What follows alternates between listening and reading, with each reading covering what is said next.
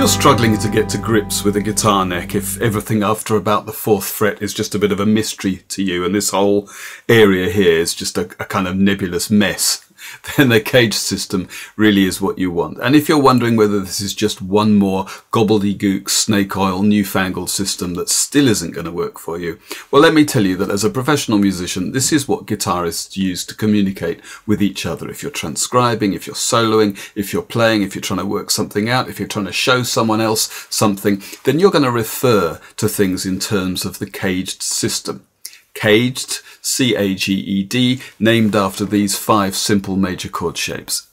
C, A, G, E, and D.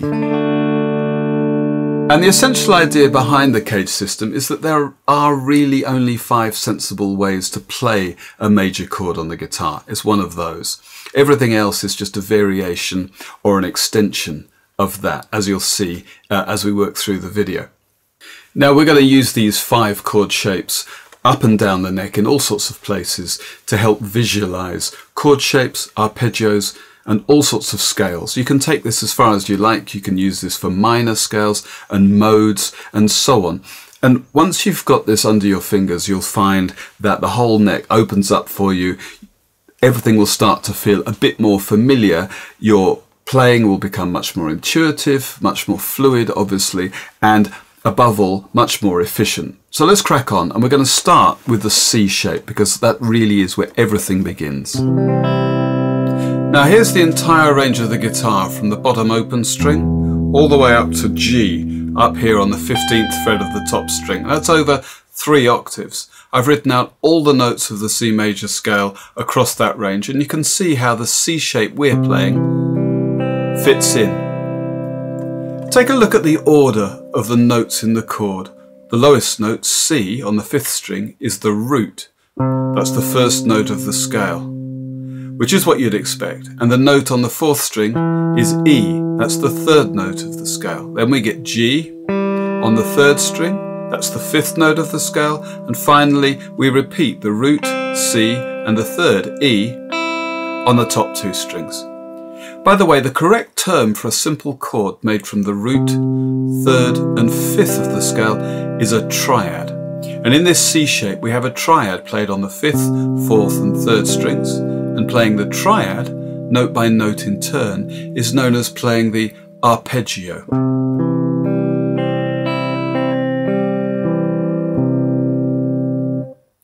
To get to grips with the caged system, you'll want to think about playing the arpeggio of the chord, each note one at a time in the correct order as far as the range of the shape will take you. That's really going to help you visualize the fingerboard. Okay, let's move this shape up a couple of frets and see what we've got. Don't forget, we're going to need to move the open string notes up too. So now we have this.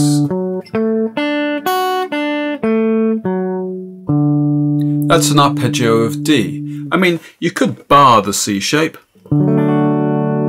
create a D chord, but that's not really what the caged system is about. We want to play the arpeggio because in a moment we're going to add notes to that to create scales. And as long as you know the names of the notes on the fifth string, you can begin your C shape there on whatever fret you like, and you'll have whatever arpeggio you're after. On the sixth fret, that's an E flat. Up here on the tenth fret, that's a G. Here's an E. And here's an A. And so on. Now let's just go back to our original C shape in first position and you'll notice that you can in fact extend the arpeggio down and up to the full range of the shape all the way down to low E and up as far as the G on the top string. And so now when we play this shape further up the neck we can likewise extend the shape up and down across the whole range of this position. Now we're going to add notes to the arpeggio to create scale patterns, and I like to teach this in two stages. Back to the basic shape of C. Firstly, let's add the second and sixth notes of the scale. That's D and A. If we just add that to the basic shape without extending across the whole range, we've got the triad plus the second and sixth, and that makes a pentatonic scale. If, for instance, we were to transfer that across to F, that's here on the 8th fret, we'd have this, that's F pentatonic. Or here's E pentatonic. And of course,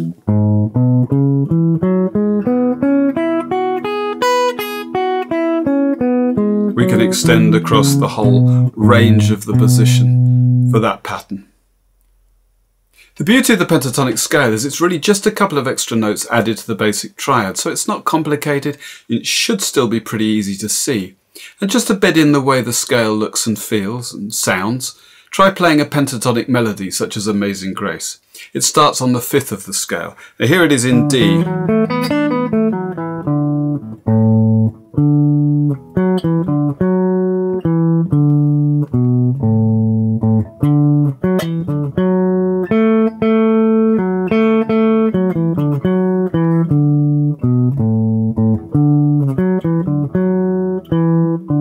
So that's in the lower octave of the pattern, and here it is in the upper octave.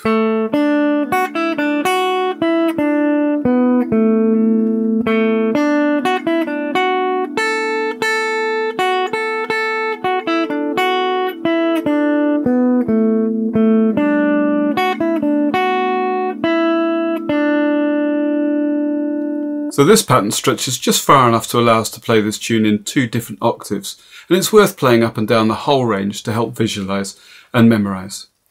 Finally then, back to our basic position for a C chord, and let's complete the major scale by adding the missing notes. That's the fourth, which is an F, and then the seventh, which is B, and here's how it looks. If we move that up the neck, we should be able to repeat that pattern elsewhere, for instance here. That's a G. And, as before, we'll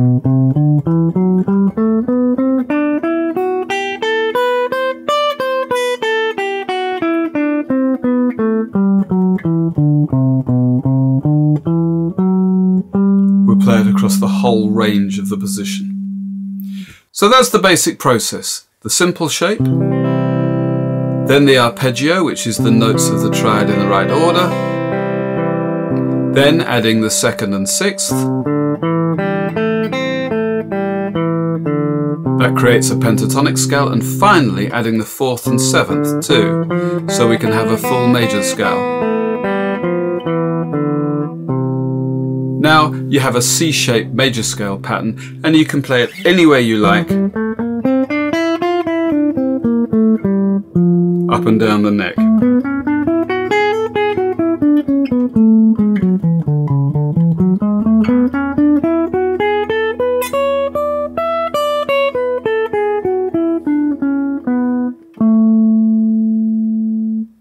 So now that we've got that first shape out of the way, you should find that the others are that much easier to process because we've already covered the key concepts such as the arpeggio, the scale, and the triad. Let's move on to the A chord and just repeat the process. And what we want to do now is to move it up to C, just because that'll make it easy to see what's going on. If we play the chord of C using this shape, starting on the third fret and play each note in turn, you'll see that after the root we go straight to the fifth of the scale, G, without the E, so the arpeggio isn't complete. Let's add that missing note here, E on the second fret of the fourth string. And now when we play each note in turn, we have a coherent arpeggio. So you can already see that the raw chord shape needed a bit of a tweak before we could use it to build a scale pattern on. We had to flesh out the arpeggio. Now that we've done that, we can add the second and the sixth, like before. And then we can extend that across the range of the shape.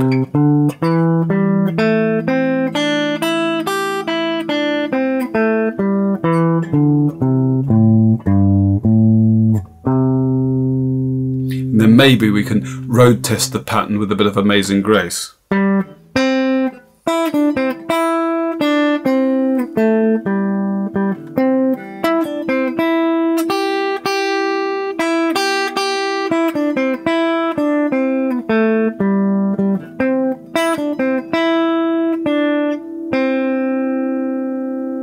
Finally, as before, we'll create a whole major scale pattern with the addition of the fourth and the seventh. And you'll notice as we do this in the second octave, we have to slip out of position to include that F.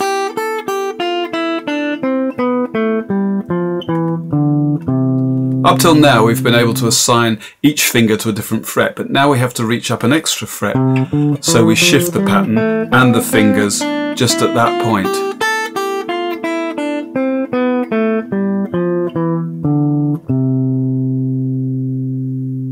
Anyway, let's move it up the neck. Let's say to E, and you'll notice I'm starting with the second finger on the fifth string.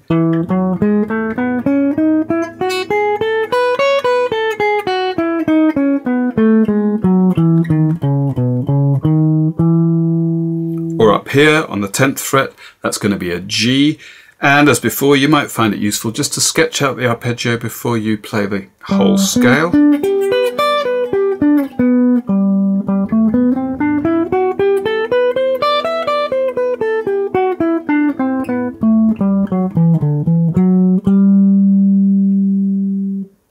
So that's the A shape out of the way. Now let's move on to G, which goes across all six strings. And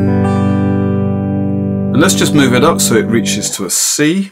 And if we play across the notes of the chord again, you'll find that one of the notes of the continuous arpeggio is missing. Up on the second string we have the third of the chord, but then we go straight up to the root again on the top string, so we're missing the fifth. So we have to insert it to make a proper arpeggio.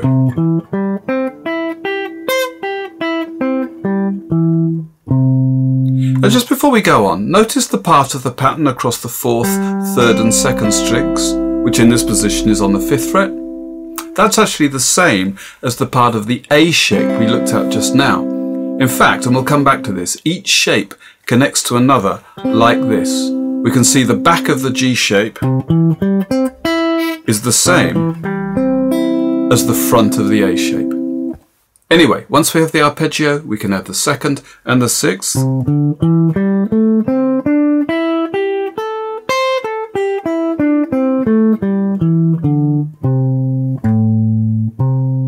that's the pentatonic. And maybe we just have a little bit of Amazing Grace.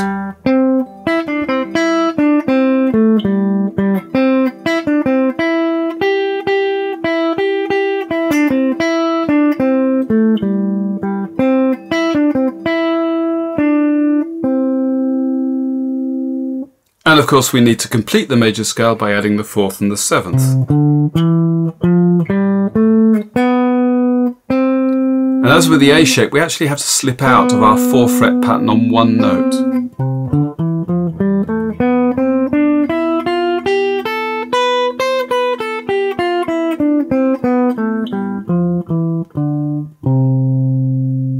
Let's move it about. Here it is, down on the 6th fret for B flat.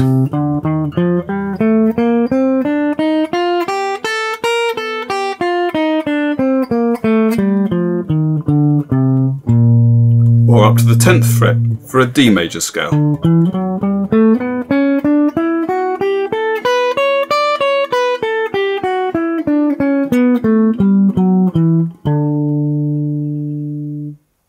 Okay, nearly there now.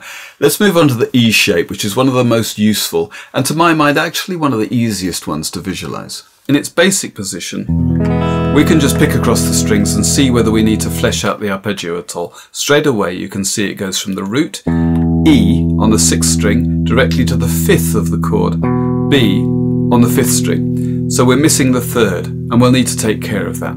After that it's back to the root on the fourth string, then there's the third, G sharp on the third string, which is great. And then the fifth of the chord on the open second string, and then the open top string is the root again. So actually it's just that missing third in the first octave we're going to need to insert to create a full flowing arpeggio.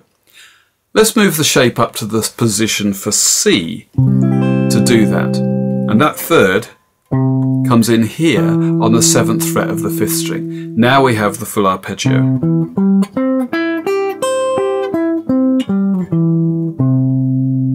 Now let's add the second and sixth notes for the pentatonic.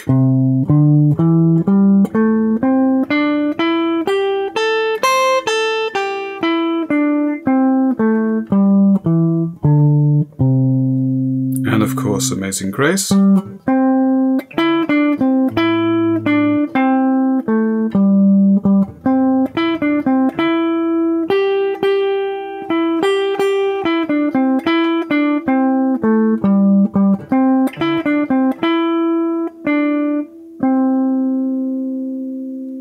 Then we play a complete major scale by adding the fourth and seventh, of course.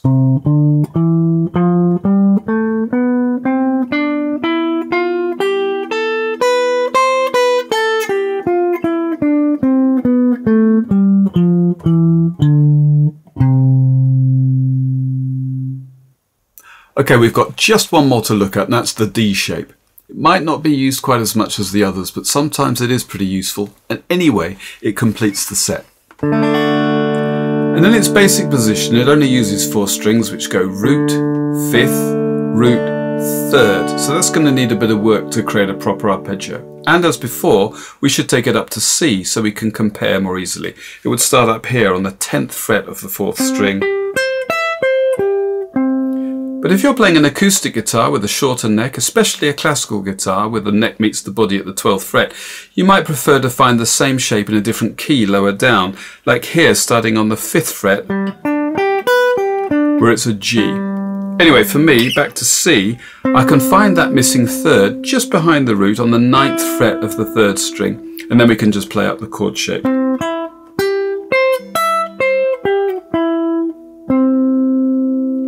And of course we can extend it down on the bottom strings like this.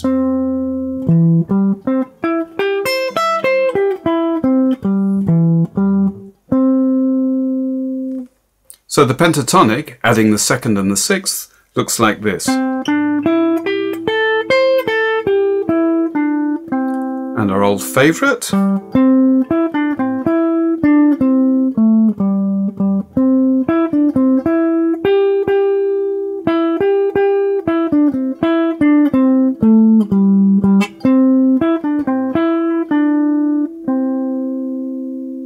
And of course we'll add the fourth and the seventh to create the entire major scale.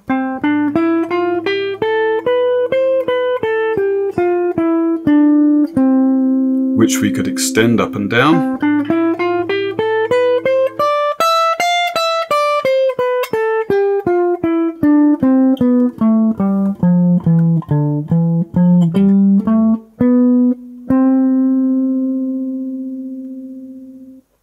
Now that we've got all our scale patterns together, it's worth thinking about this. The front part of each pattern, by which I mean the higher frets, overlaps with the back part, the lower frets, of the next pattern. Take a look at this G arpeggio, played using the E shape.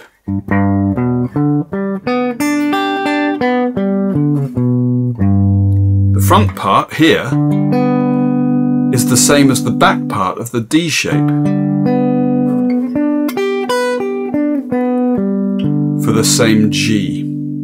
And then the front part of the D shape, this triangle up here on the top three strings, that forms the back of the C shape.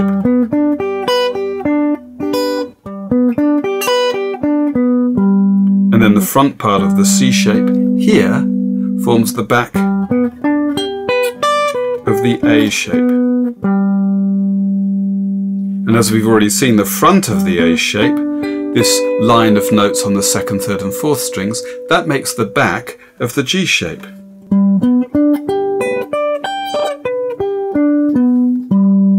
And if your neck is long enough,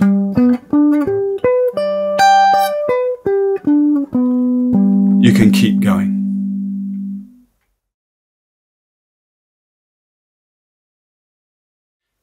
Are a couple of useful ideas to bed those patterns in. I'm doing this using a C shape playing a G scale, but of course it could be any pattern anywhere on the neck. I'm going to step up a third, then back one, up a third, back one, up a third, and so on.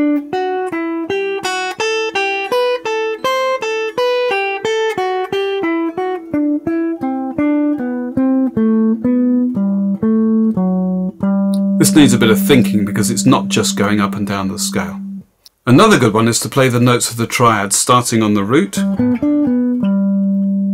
then the triad starting on the second note of the scale, and so on.